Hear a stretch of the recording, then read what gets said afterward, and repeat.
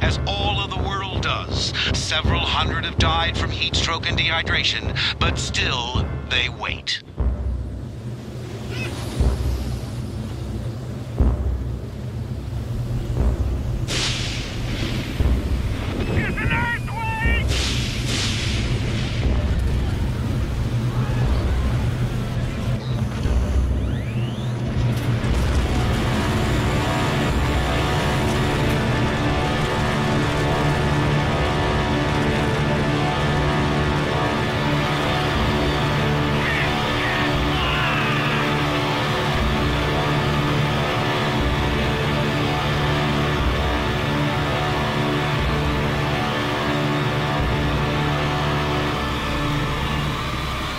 let the dying begin.